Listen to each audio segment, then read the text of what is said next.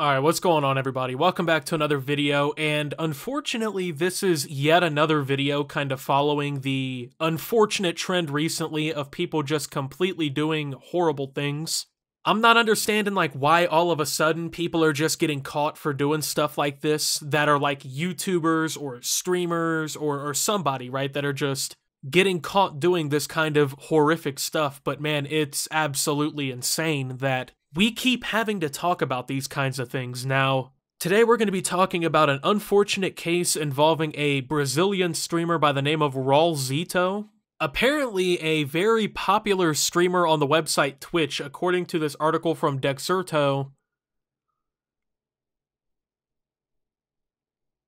Mm. Raulinho do Oliveira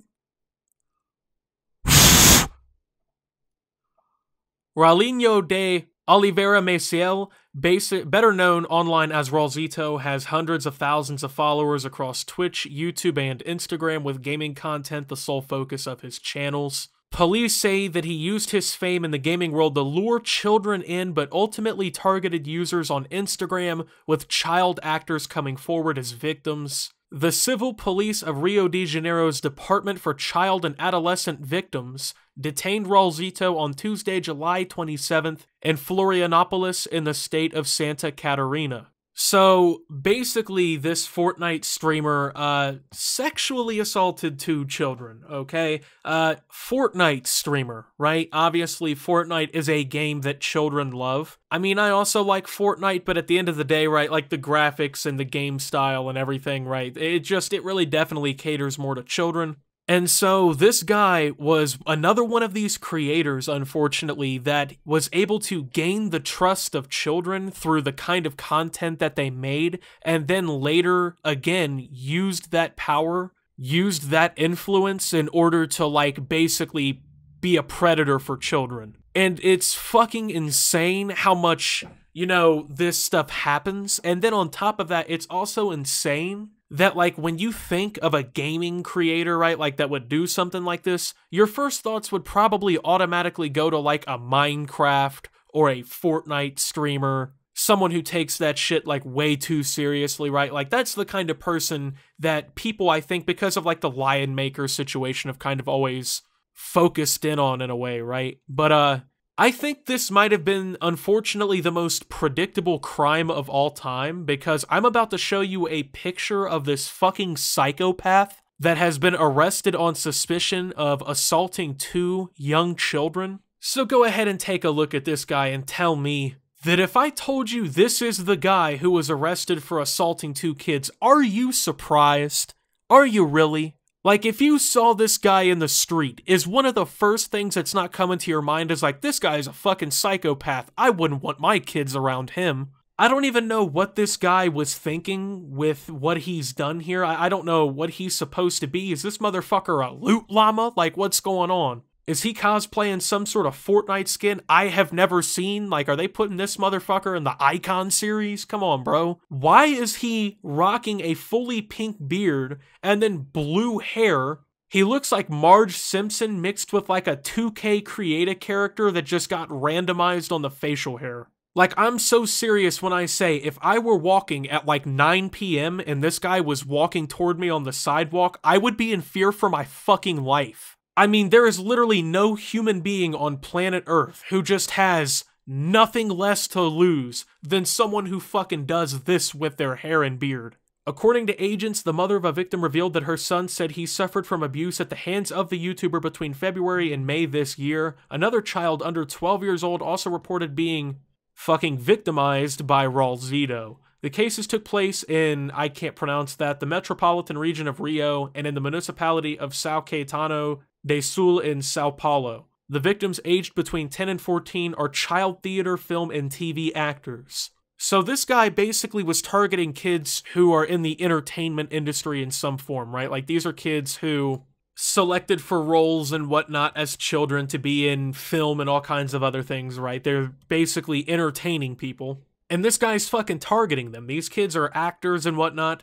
According to the investigations, the accused gained contact with the children through Instagram and promised access to jobs in his area of expertise, even claiming to be hired by a major TV station. In light of the victim's reports, the DCAV team asked the court for search and seizure warrants and a temporary arrest warrant after he was located and arrested. Raul Zito's team, SBT Games, released a statement following the arrest saying that Raul Zito is no longer a part of the company and that they, quote, awaits the elucidation of the facts and result of the investigation. Police believe that there are more than just these two victims, too, finalizing their statement by saying that, quote, investigations continue to identify other victims of the perpetrator. So the likelihood that this guy actually ended up victimizing more than two children is pretty high at this point, right? According to what we're hearing. It seems like the more that they look into this guy and who he's been interacting with, the more cases that seem probable. And it's like, can you even fix this kind of person from doing something so fucking degenerate? Like, is there really any humane way to solve this problem? Because you gotta think of the two options that this motherfucker has right now, right? And no, number one, and this is the one that he's probably gonna want but end up regretting, he's gonna end up going to fucking jail, okay? He's gonna hopefully end up serving some time, right? Like some serious time. That way he really gets the message. And then when Raul Zito, the multicolored fucking Fortnite streamer, okay, walks into cell block D, if you know what I'm saying. He's gonna be turned into the fucking personal toy of every guy bigger than him in that cell block, and then he's probably going to end up being fucking brutally killed. I don't know if you guys know this, but chomos, as they're called in prison, or pedos, right? When they go to jail, they suffer it is widely known that in prison, these people are basically viewed as inhuman and are treated with complete disrespect by everybody and are punished constantly by the other prisoners, if you know what I'm saying. So, to make matters worse, right, you gotta think it's him, okay? He's the one who's going into prison. Like, this guy is not fucking defending himself, right? It's gonna be a big problem. So, it's just getting sad that the extent that this, you know, content creator, like getting caught doing horrible shit kind of thing is going.